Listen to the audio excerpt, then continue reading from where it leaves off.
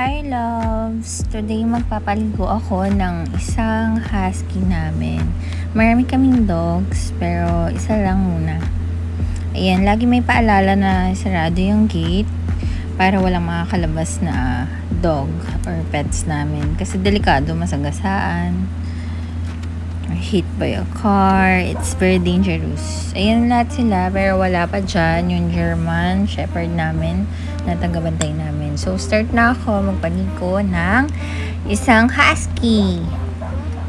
Mahirap sila paliguan kasi very energetic sila. So, kailangan mo talaga itali. Yan, pinapainom ko muna siya ng water. Ito yung shampoo niya. Happy Fur. Pet shampoo. Yan. Magiging shiny na rin yung hair nila dyan. And may madre kakao na rin yan para wag sila magka galis or itchiness. Ayan. Ayaw na ayaw ng mga husky na inuuna yung ano nila head. So kailangan natin mag start sa bandang ibaba. Yan sa tail sa body. Sa neck okay din. Sa last na yung last part na yung sa head part nila kasi naiirita talaga sila pag binabasa yung ulo nila kahit na hindi husky kahit yung mga small dogs ayan uh, yung usual paliligo namin sa dog is um, gumagamit kami ng hose but today, iba. Kasi, ang title nga is, naligo kami. So, kami dalawa yung naligo. Kaya, mas okay na, ganyan, hawak ko siya and minamassage ko siya. So, it's like, ano, a bonding with my fur baby. One of my fur baby. And the very makulit husky. Uh, baby pa lang to. Mukha lang siya malaki. Pero 5 months pa lang siya. Anak siya ni B2 and ni Hearty. Ayan, as you can see. Nag-start ako sa body bago sa head kasi naiirita talaga sila pag inuuna yung head. Lahat ng fur babies, ganun. Minamassage-massage ko na rin siya. Parang bonding namin. Yan, ayaw nila mauuna talaga yung head. So, yan, massage-massage lang sa body part. Yan. Sa hands, kasi marami yan nilikot-likot, takbo-takbo. Pero nakatali naman siya. Kaya, hindi siya makakatakbo ngayon. anyway, yan ano lang, scrub scrub. Usually may pang scrub kami, but today nga is bonding with my husky. So, yan, talagang TLC.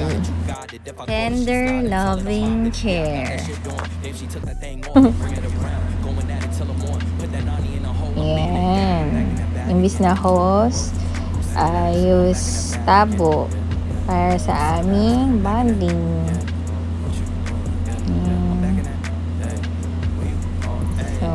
Yung chan kasi madumi yan pag humihiga sila.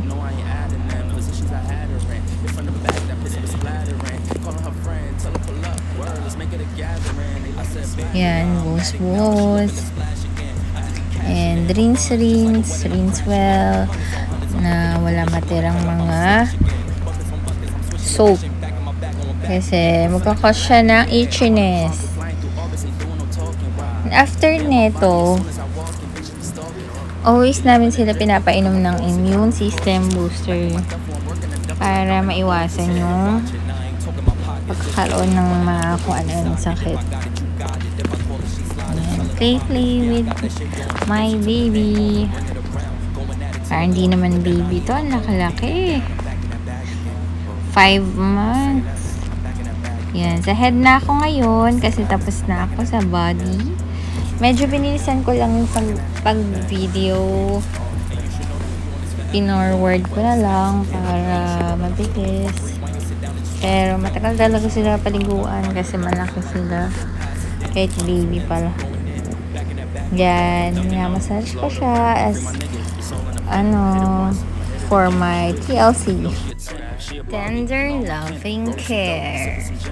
Ayun, massage massage lang ahead. And yan, kailangan, kailangan mo yung tali para kasi kung hindi, nakatakbo na talaga sila. Mahirapan kang mahuli talaga. Kaya ako may socks, as you can see, kasi yung mga nails nila, makakalmot ka talaga pag hindi ka nag-socks. So, yun, nag-socks ako.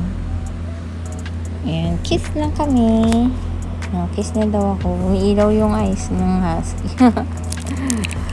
Mga wolf.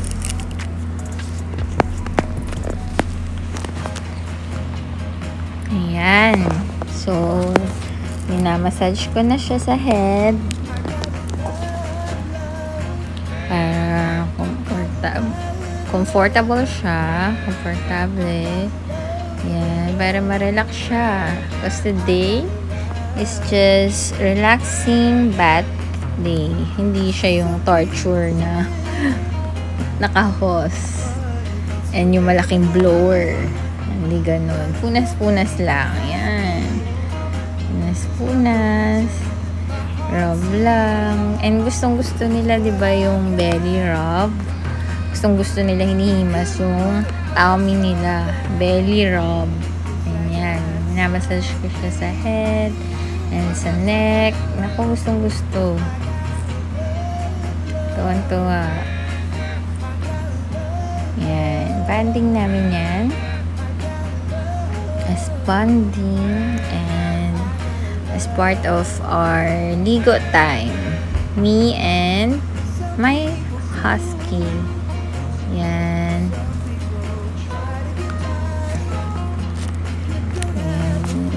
Rub lang para matanggal ng gusto yung soap. So, playing din. Pero siya mas stress kasi sa ulo na, sa head part. Ayan.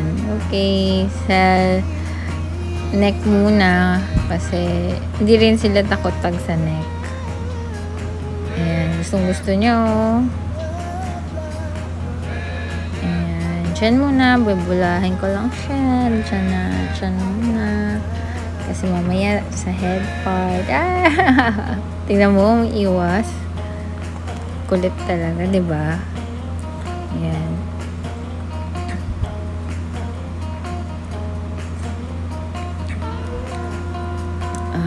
I make sure na I make sure na wala na natira na ano na so kasi mag ano siya itchy siya later so hindi okay. Ayan. Okay play play muna. Play play. Kasi lalagyan yung head ng water mamaya. Ayan na. Ayan, ayaw niya niyan. Ayaw niya. Oh, binala niya ako. Kiss na lang daw.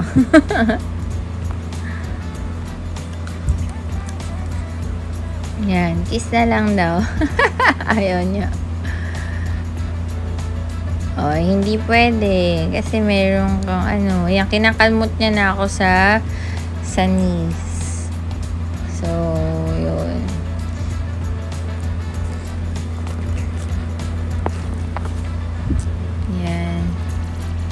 Na. And ako rin, naligo, konti. Ayan, okay na siya.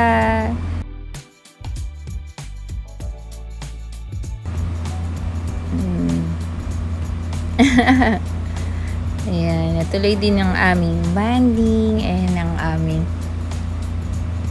ligo with baby. Next time, tampisaw naman sa ibang lugar. Ayan, nag-isip bata na naman ako. Sorry.